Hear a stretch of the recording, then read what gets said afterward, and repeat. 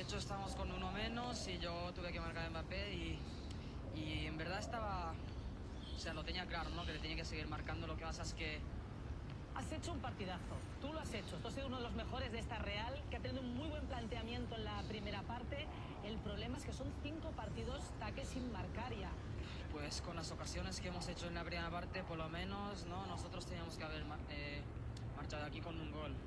Y eso jode también, pero la verdad es que no estamos acertados de cara a puerta y no podemos pedir que nuestra defensa, pues todos los partidos se marche con la pu- puerta a cero, ¿no? Nosotros también hemos tenido un, un larguero de Mikel, otra de Andrea, otra mía, pues estas, una de estas tiene que ir a gol.